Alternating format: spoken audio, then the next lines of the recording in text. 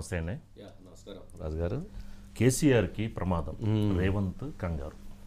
కేసీఆర్ గారు అదే కేసీఆర్ గారు రాత్రి బాత్రూంలో కాలు జారి పడటంతో వారికి హిప్ రీప్లేస్మెంట్ చేయాల్సి వచ్చిన పరిస్థితి ఏర్పడింది గాయాలైనవి అవును. దాంతో యశోద ఆసుపత్రిలో వారు చికిత్స పొందుతూ ఉన్నారు. వారు త్వరగా కోలు కోరుకోవాలని మనం కూడా ఆశిద్దాం సార్. ఆశిద్దాం. అయితే ఇప్పుడు కేసీఆర్ గారు పడిన వెంటనే రేవంత్ రెడ్డి గారి స్పందన ఇక్కడ ఇంపార్టెంట్. ఆయన వైద్య ఆరోగ్య శాఖ కార్యదర్శిని ఆదేశించి వెంటనే వారికి వారిని అక్కడికి వెళ్ళి ఆసుపత్రికి వెళ్ళి వైద్యులతో మాట్లాడి మెరుగైనటువంటి శస్త్రచికిత్స అందించేందుకు అన్ని ఏర్పాట్లు ప్రభుత్వం వైపు నుంచి చేయాలని వారు ఆదేశించి పంపించారు. పంపించి ఎప్పటికప్పుడు హెల్త్ రిపోర్ట్ని తెలుసుకునేటువంటి చర్యను కూడా చేపట్టాడు. అది హుందాతనంగా అనిపించింది. హుందాతనం అని అంటే జనరల్గా ఇప్పుడు నిన్న కేసీఆర్ గారు పిలిచినా కానీ ఇది ప్రమాణ స్వీకార కార్యక్రమానికి కేసీఆర్ గారు వెళ్ళలేదు. అయినా కానీ ఈరోజు వారు పడిన వెంటనే సమాచారం తెలిసిన వెంటనే ప్రభుత్వం వైపు నుంచి ఆదేశించి వారికి మెరుగైనటువంటి ట్రీట్మెంట్ అందించాలని చెప్పని ఆదేశించడం అనేటువంటిది. అంటే రాజకీయాల్లో అటువంటి సుహృద్భావ వాతావరణం అటువంటి ఒక మంచి హుందాతనంతో కూడినటువంటి వాతావరణం ఉండాలి అనేటువంటిది ప్రజలు ఆకాంక్షిస్తూ ఉన్నారు. సరే కేసీఆర్ గారికి సంబంధించి వారు రాత్రి బాత్రూంలోకి వెళ్ళినప్పుడు తడి ఉండటం వల్ల మొత్తానికి కాలు జారిపట్టడం వారిని ఆసుపత్రికి తీసుకొచ్చారు. సరే ఉదయం నుంచి పరీక్షలు చేసినటువంటి వైద్యులు ఇప్పుడే శస్త్రచికిత్సకు తీసుకెళ్ళారు. ఇరవై మంది వైద్యుల ప్రత్యేక బృందం వారికి సంబంధించి ఆపరేషన్ చేస్తున్నారు. సరే ఆ యశోద ఆసుపత్రి అంటే మంచి వైద్యులు ఉంటారు. అది ఇక అది ప్రాసెస్ జరుగుతుంది. కానీ ఆరు నుంచి ఎనిమిది వారాల పాటు వారు రెస్ట్లో ఉండాలనేటువంటి అభిప్రాయాన్ని కూడా వ్యక్తం చేశారు. కుటుంబ సభ్యులు అట్లాగే బీఆర్ఎస్ పార్టీకి సంబంధించినటువంటి ముఖ్యులు అందరూ కూడా ఆసుపత్రి దగ్గరికి వెళ్ళారు. అయితే ఇతర జిల్లాల నుంచి వచ్చేటువంటి వాళ్ళందరినీ కూడా రావద్దు అని కూడా చెప్పడం జరిగింది. కేటీఆర్ గారు హరీష్ గారు సంతోష్ గారు కవిత గారు అట్లాగే వారి పిల్లలు అందరూ కుటుంబం మొత్తం కూడా అక్కడే ఉన్నారు. సరే ఒకసారి హరీష్ రావు గారు కూడా మాట్లాడారు. ఒకసారి బయట ప్లే చేయండి. నిన్న కేసీఆర్ గారు బాత్రూంలో జారిపడి సో బాగా నొప్పి వచ్చేటువంటి క్రమంలో ఆసుపత్రికి తీసుకొచ్చాం. డాక్టర్లు అన్ని రకాల పరీక్షలు చేసిన తర్వాత వారి యొక్క తుంటి ఎముక విరిగిందని దాన్ని హిప్ రిప్లేస్మెంట్ ద్వారా సర్జరీ చేయాలని చెప్పి నిర్ణయించడం జరిగింది. అయితే ఈ సాయంత్రం డాక్టర్లు హిప్ రిప్లేస్మెంట్ చేయాలని చెప్పి నిర్ణయించారు. ఈ సందర్భంగా కేసీఆర్ గారి అభిమానులు పార్టీ శ్రేణులు నాయకులు ఎవరు కూడా ధైర్యం కోల్పోవద్దని వారి ఆరోగ్యం మరి ఎప్పటికప్పుడు డాక్టర్లు సమీక్షిస్తా ఉన్నారు. బులెటిన్ కూడా ఇవ్వడం జరుగుతుంది. ఇక్కడ ఇన్ఫెక్షన్ వచ్చేటువంటి అవకాశం ఉంటుంది కనుక మీరందరూ కూడా దయచేసి ఇక్కడికి రావద్దని చెప్పి కూడా విజ్ఞప్తి చేస్తా ఉన్నాం. రైట్. అది ఇచ్చినటువంటి మెసేజ్. సరే రమణ ఉన్నట్లున్నాడు. రమణ! రమణ! ఓకే. అంటే కొద్దిగా ఓటమి తర్వాత కొంత వారిలో జనరల్గా ఉండేటువంటి ఒక బాధ ఉన్నట్లుంది. ఆ బాధ కూడా కొన్ని సందర్భాల్లో ఆయన ఫేస్ ఫీలింగ్స్లో కూడా కనిపిస్తూ ఉంది. ఆయన ఆ రోజు కూడా గవర్నర్ గారికి రాజీనామా ఇచ్చేటువంటి కార్యక్రమం వెళ్ళకుండా డైరెక్ట్గా సంతోష్ని పిలిచి కారు వారి కారులో ఎక్కేసి వెళ్ళిపోయారు ఫామ్ హౌస్కి. అప్పటి నుంచి ఇప్పటివరకు రాలేదు. అలాగే జనరల్గా ఓడిపోయిన ప్రెస్ కాన్ఫరెన్స్ అడ్రస్ చేయడం కూడా కేటీఆర్ గారు అడ్రస్ చేశారు కానీ కేసీఆర్ గారు అడ్రస్ చేయలేదు. బట్ ఆయన కొంత ఎక్కడో మదన పడుతున్నట్లున్నారు ఈ ఓటమి దీని తర్వాత జరిగినటువంటి పరిణామాలు ఓటమికి గల కారణాలు అంటే ఇంత చేసినా కానీ ఓడిపోవటం ఏంటి అనేటివి చాలా అంశాలు. జనరల్గా తొమ్మిదిన్నర సంవత్సరాల పాటు అధికారంలో ఉన్న కేసీఆర్ గారు అటువంటి బాధపడటంలో జనరల్గా ఎవరికైనా ఉండిద్ది. బట్ కేసీఆర్ గారు ఇంకొంచెం ఎక్కువ దాన్ని ఆవేదన చెందుతున్నట్లున్నారు. సరే ఏదైనా కానీ ప్రస్తుతం ఇప్పుడు వారు ఆరోగ్యం త్వరగా కోలుకోవాలని ఆకాంక్షిద్దాం. Ramana join అయ్యాడా? Chaman join Ramana ready sir. ఆ, రమణ. రమణ రమణ. రమణ వినిపిస్తుందా? రమణ వినిపిస్తుందా? రమణ. వస్తున్నారు రైట్. సరే. Good evening good evening. ఏంటి వాయిస్ వినపట్లేదా ఏంటి? రమణ వాయిస్ వినిపిస్తుందా?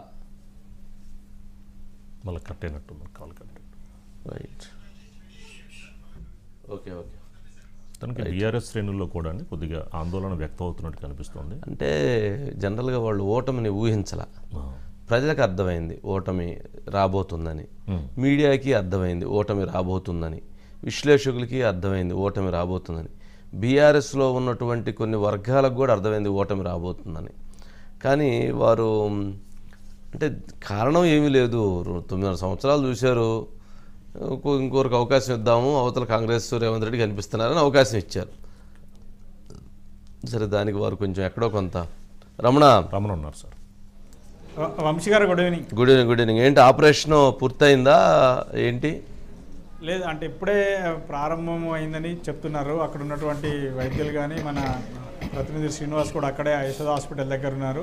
నిన్న రాత్రి మరి ఫామ్ హౌస్లో కేసీఆర్ కాల్జారి జారి పడడం వల్ల ఆయన తొంటి భాగానికి అంటే ఇక్కడ నడుము దగ్గర తొంటి భాగానికి బోన్ ఫ్రాక్చర్ అయింది. దానివల్ల వెంటనే యశోద ఆసుపత్రికి సోమాజిగూడలో ఉన్నటువంటి యశోద ఆసుపత్రి తీసుకొచ్చారు. పొద్దున్న నుంచి కూడా ఆయనకు సంబంధించినటువంటి వైద్య పరీక్షలన్నీ కూడా జరిగాయి. వెంటనే అంటే ఒక మాజీ ముఖ్యమంత్రి కా- సీనియర్ నాయకుడు కూడా కాబట్టి బీఆర్ఎస్ పార్టీ నాయకుడు ఈ సమాచారం తెలిసిన వెంటనే ముఖ్యమంత్రి రేవంత్ రెడ్డి కూడా అంతే వేగంగా స్పందించి ఎందుకంటే ముఖ్యమంత్రి కూడా ఒక బాధ్యతాయుతంగా ఒక ప్రధానమైనటువంటి పార్టీ నాయకుడు. నిన్న మొన్నటి వరకు రాష్ట్రానికి ముఖ్యమంత్రిగా చేసినటువంటి నేత కాబట్టి ఆయన ఆరోగ్య పరిస్థితిపైన కూడా సీఎం రేవంత్ రెడ్డి ఆరా తీశాడు ఆ యశోద వైద్యులతో కూడా మాట్లాడాడు. అదేవిధంగా హెల్త్ ప్రిన్సిపల్ సెక్రటరీని కూడా అక్కడికి పంపించి అవసరమైనటువంటి మెరుగైన వైద్య చికిత్స అందించాలని కూడా ఆయన సూచించడం జరిగింది. ఒక బాధ్యతాయుతమైనటువంటి స్థానంలో ఉన్నటువంటి ముఖ్యమంత్రిగా తన వంతు పనిని తాను చేశాడు వెంటనే. అదేవిధంగా ఇంకా కేసీఆర్ వెంట మరి హరీష్ రావు కేటీఆర్ సంతోష్ వీళ్ళందరూ కూడా ఉన్నారు. వాళ్ళందరూ కూడా ఎప్పటికప్పుడు వైద్య చికిత్సకు సంబంధించినటువంటి అన్ని ఏర్పాట్లను కూడా చేయడం జరిగింది. మరి ఇప్పుడు కొద్దిసేపటి క్రితమే మరి కేసీఆర్కు ఫ్రాక్చర్ అయినటువంటి బోన్కి సంబంధించినటువంటి శస్త్ర శస్త్రచికిత్స ప్రారంభమైందని చెప్తున్నారు. మరి అది మరి మరి కొద్దిసేపట్లో దాదాపు ఒక టూ త్రీ అవర్స్ అయితే టైం పట్టొచ్చు అంటున్నారు. రీప్లేస్మెంట్ చేయాలి.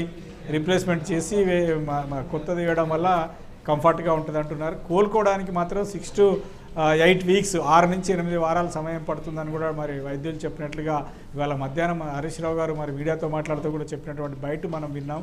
కాబట్టి మిగతా ఆరోగ్యపరమైనటువంటి అంశాలలో ఎలాంటి ఆందోళన పడాల్సినటువంటి అవసరం లేదు. కాలు జారి పడడం వల్ల మరి బోన్ ఫ్రాక్చర్ అయింది కాబట్టి డాక్టర్ల సూచన మేరకు దాన్ని రీప్లేస్మెంట్ yes. అవసరం ఉందన్నది వైద్యులు చెప్తున్నారు. ఓకే.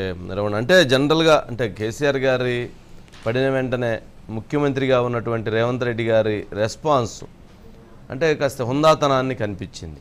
అంటే ఒక పద్ధతి. జనరల్గా నిన్న కేసీఆర్ గారిని ఆహ్వానించినా కానీ వారు రాలేదు. సరే ఆ విషయంలో కొంత సరే ఆ- అట్లాంటి ఏమైనా ఉన్నా కానీ అసంతృప్తులు ఉన్నా కానీ కానీ ఇక్కడ ఈయన వ్యవహరించినటువంటి తీరు ఆ హుందాతనాన్ని తీసుకొచ్చింది. అంటే రాజకీయాల్లో అటువంటి హుందాతనమైనటువంటి రాజకీయాలు ఉండాలి. ఉండాలి అనేటువంటిది భావించవచ్చు వెంటనే నరేంద్ర మోదీ గారు రెస్పాండ్ అయ్యారు. చంద్రబాబు నాయుడు గారు రెస్పాండ్ అయ్యారు. లోకేష్ రెస్పాండ్ అయ్యాడు. అట్లాగే చాలామంది కూడా జగన్మోహన్ రెడ్డి కూడా. జగన్మోహన్ రెడ్డి గారు కూడా రెస్పాండ్ అయ్యారు. అంటే ఇటువంటి ఒక పాజిటివ్ దృక్పథం ఉండాలి. ఇప్పుడు జనరల్గా బీఆర్ఎస్ అధికారంలో ఉన్నప్పుడు అపోజిషన్ లీడర్గా ఉన్నటువంటి పిసిసి రేవంత్ రెడ్డి విషయంలో అదే హుందాతనంతో కనుక ఆ రోజు ఉన్నటువంటి ప్రభుత్వం వ్యవహరించున్నా కానీ ఇంకొంచెం సామరస్యపూర్వకమైనటువంటి ధోరణి అంటే ఇంకొంచెం మంచి సుహృద్భావమైనటువంటి వాతావరణం కూడా ఉండుండేది.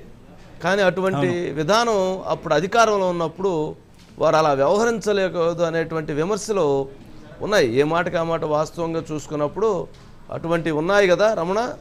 ఉన్నాయి ఉన్నాయి. అన్నీ కలిసి ఇప్పుడు ఇప్పుడు కర్ణుడి సావుకు వంద కారణాలు అన్నట్టు ఒక్కొక్కటి వ్యతిరేకత పెరగడానికంటే one by one one by one add అవుతూ వస్తాయి కదా. ఒకటి రెండు మూడు నాలుగు నుంచి వంద వరకు వస్తాయి కదా.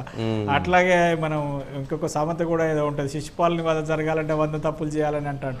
సో అది ఇప్పుడు డెమోక్రసీలో అదే. అంటే ఒకటి చూస్తారు రెండు చూస్తారు మూడు చూస్తారు. ఒకటి ఏంటంటే రాజకీయాలు విధానపరమైనటువంటి విభేదాలు వేరు. రాజకీయంగా ఇప్పుడు రేవంత్ రెడ్డి కేసీఆర్ రాజకీయంగా విమర్శలు చేసుకోవచ్చు. లేదా పరిపాలనా పరమైనటువంటి అంశాల మీద విమర్శలు చేసుకోవచ్చు. ఆయన బాగాలేదు ఇవి బాగున్నాయి మేము బాగా చేస్తాం మీరు బాగా చేయరు కానీ వ్యక్తిగతమైనటువంటి ఇట్లాంటి అంశాలకు వచ్చినప్పుడు మాత్రం. చాలా హుందాగా ఆ, వాడు ఒక మానవత్వంతో వ్యవహరించాలి. ఇప్పుడు సపోజ్ ఒక ముఖ్యమంత్రి ప్రధాన ప్రతిపక్ష నాయకుడు అనుకోండి. ముఖ్యమంత్రి ఇంట్లో కూతురు పెళ్ళో కొడుకు పెళ్ళి అయితే ప్రధాన ప్రతిపక్ష నాయకుడు రావాలి. ప్రధాన ప్రతిపక్ష నాయకుడు ఇంట్లో ఏదైనా శుభకార్యం జరిగితే అది ఉండాలి అంటున్నా. అది. కోరుకోవాలి అది ఉండాలని రాజకీయాల్లో ఉన్న ప్రతి ఒక్కరు కూడా ఎందుకంటే దాన్ని మెయింటైన్ చేయాలి. అధికారం ఎప్పుడు ఈ రెస్పాన్స్ కూడా అన్ని ప్రజల కోసం తప్పగా చేస్తున్నట్టు ఉంటుంది తప్ప నిజంగా మనసులో ప్రేమతో చేస్తున్నట్టుగా కూడా కనపట్టలేదు చాలా అంశాలు పది సంవత్సరాల క్రితం అయితే అట్లాంటివి ఉండేవి ఇప్పుడు అవి పోయినాయి. అది మార్చుకుంటే వాళ్ళకి ఎంత ఉందాగుంటే ప్రజలంత గౌరవంగా చూస్తారు. ఇప్పుడు అధికారం ఎవరికి ఎప్పుడు శాశ్వతం కాదండి. ఎవరు జీవితకాలం అధికారంలో ఉండడానికి రారు. కాబట్టి అధికారం ఉంటది పోతుంది. బట్ అధికారం శాశ్వతంగా ఉండాలని అనుకుంటే తొందరగా పోయిద్దంట. ఎస్ అది ఉన్ కానీ అది ఉన్నప్పుడు మనం ఎంత హుందాగా ఉన్నాము అనేదే అందరూ గుర్తించేది. ఇప్పుడు చాలా సందర్భాల్లో రాజశేఖర రెడ్డి గారిని ఏ, చాలా మంది గుర్తు చేసుకుంటారు. ఎందుకు? ఆయన టర్మ్లో ఎవరైతే లబ్ధి పొందారో లేదా ఆయన పరిపాలనా సమయంలో మంచి జరిగిన అంశాలు ఉన్నాయో వాటిని ఖచ్చితంగా గుర్తు చేసుకుంటారు. కారణం ఏంటి? ఆయన ఆ- అంతకు ముందు ఎంత ఫ్యాక్షనిస్టిక్ రాజకీయాలను కాంగ్రెస్లో గ్రూప్ తగాదాలను రకరకాల విమర్శలు ఉన్నా ముఖ్యమంత్రి అయిన తర్వాత వాటిని చాలా మార్చుకున్నాడు ఆయన. సరే రెండోసారి ముఖ్యమంత్రి అయినా కొంత అది వేరు కానీ మొదటిసారి ముఖ్యమంత్రి అయిన టైంలో ఆయన మీద ఉన్న విమర్శలు అన్నీ కూడా పటాపంచలు అయిపోయి ఒక మెచ్యూర్డ్ లీడర్ లీడర్గా ఒక ముఖ్యమంత్రిగా రాష్ట్రానికి ఆయన వ్యవహరించారు. అట్లాగే మిగతా వాళ్ళు కూడా ఉంటే మంచిది.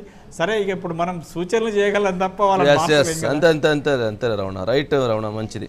నెక్స్ట్ థ్యాంక్ యూ అంటే ఈ విషయంలో కూడా ఏంటంటే జనరల్గా అంటే ఎవరైనా సరే కేసీఆర్ గారు పడిన తర్వాత వారు ఆసుపత్రికి వచ్చిన తర్వాత అనో అనవసరమైనటువంటి ఆ, విష ప్రచారాలని సోషల్ మీడియాలో చేస్తున్నారు. వాటన్నిటి విషయంలో తీవ్రంగా చర్యలు కూడా తీసుకోవాలి. అది అది మంచిది కాదు. ఇప్పుడు ఆయన పడ్డారు. పట్టం అనేది ఎవరైనా పడతారు. మనం బట్టలు ఎవరు బట్టలు అందరూ పడతాం. పడినప్పుడు దెబ్బలు తగులుతుంది కానీ దాని మీద ఒక విష ప్రచారం. అది అలా కాదు ఎలా జరిగింది ఇట్లా ఇట్లా అలాంటి వాటి మీద కూడా చర్యలు తీసుకోవాల్సినటువంటి అవసరం కూడా ఉంది. రైట్